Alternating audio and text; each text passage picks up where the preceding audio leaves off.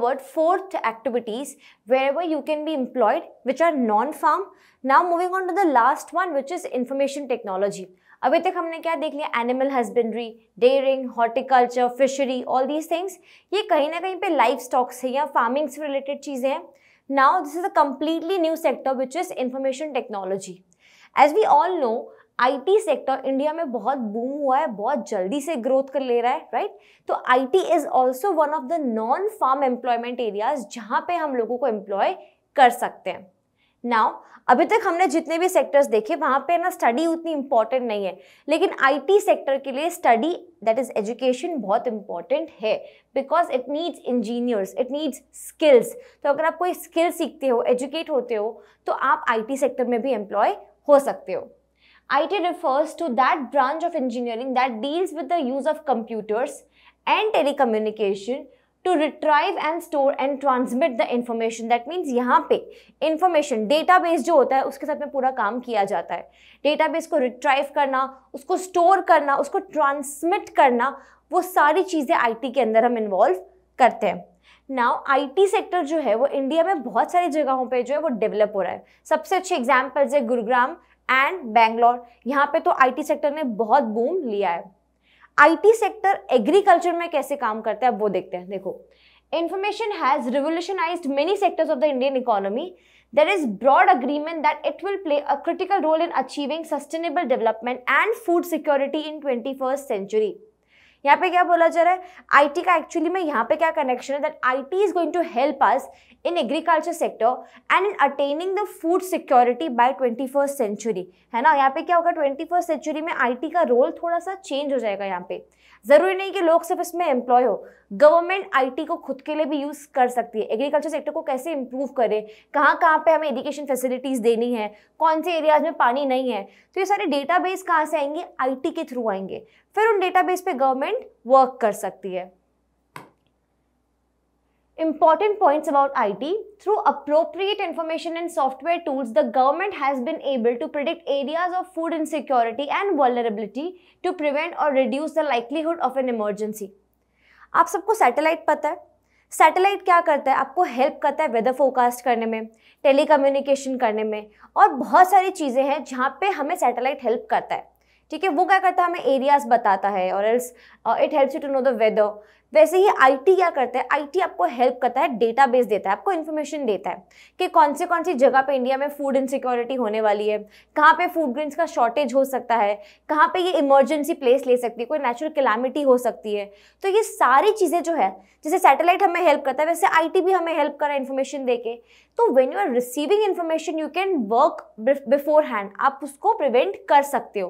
तो that is how I T is going to help in this sector It also has a positive impact on the agriculture sector as it circulates information regarding emerging technologies and their applications, prices, weather and soil conditions for growing different crops, etc.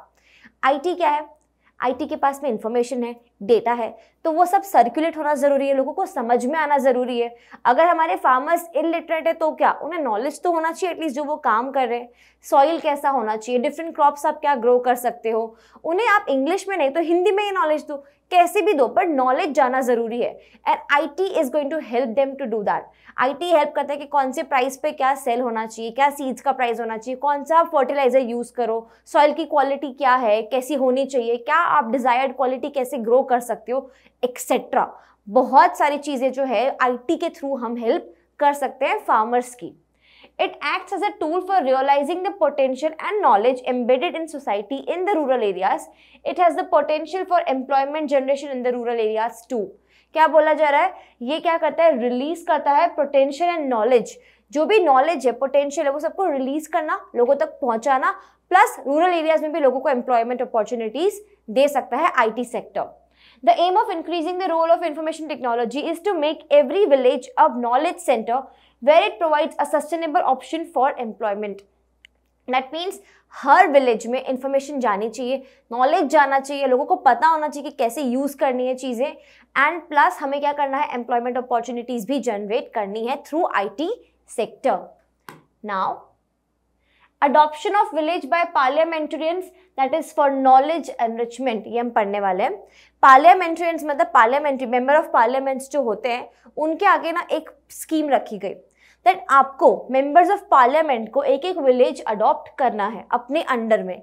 In your constituency जहाँ पे भी आप M L A हैं, या जहाँ पे भी आप मेंबर ऑफ़ पार्लियामेंट हैं, जिस एरिया के, वहाँ पे आपको एक विलेज अडॉप्ट करना है।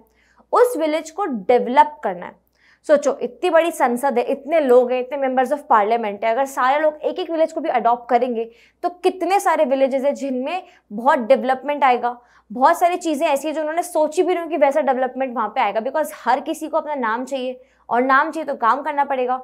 तो मेंबर ऑफ़ पार्लियामेंट जब अडॉप्ट करेंगे विलेजेस को तो कितनी इंप्रूवमेंट कितना डेवलपमेंट होगा? In October 2014, the government of India introduced a new scheme called Sansad Adarsh Gram Yojana. S A G Y ये हमें याद रखना है, Sansad Adarsh Gram Yojana. Under this scheme member of India parliament need to identify and develop one village in their constituencies to begin with M Ps can develop one village as a model village by two thousand sixteen and two more village by two thousand nineteen covering over twenty five hundred villages in India क्या बोला जा रहा है यहाँ पे? एक M P को, ठीक है? एक एम एल एक मेंबर को क्या करना है? मेंबर ऑफ़ पार्लियामेंट को एक विलेज अडॉप्ट करना है। 2014 में you will adopt the village 2016 तक आपको उसको मॉडल विलेज बनाना है। दैट मीन्स बेसिक डेवलपमेंट लानी है उसके अंदर। और उसको एक मॉडल विलेज बनाओगे आप। ठीक है कि ये मॉडल है हमारा, ऐसा हमारा विलेज एटलीस्ट इतनी फैसिलिटी तो होनी चाहिए। And by two thousand year nineteen that is तीन साल में आपको दो और विलेज डेवलप करना है। दैट मीन्स आप, अगर मैं मेंबर ऑफ़ पार्लियामेंट हूँ तो मैं एटलीस्ट 2019 तक तीन विलेजेस को डेवलप करूँगी। दैट मीन्स इतने सारे मेंबर्स हैं। अगर सब इतने विलेजेस को डेवलप करेंगे तो अराउंड 2500 विलेजेस इंडिया में डेवलप होंगे।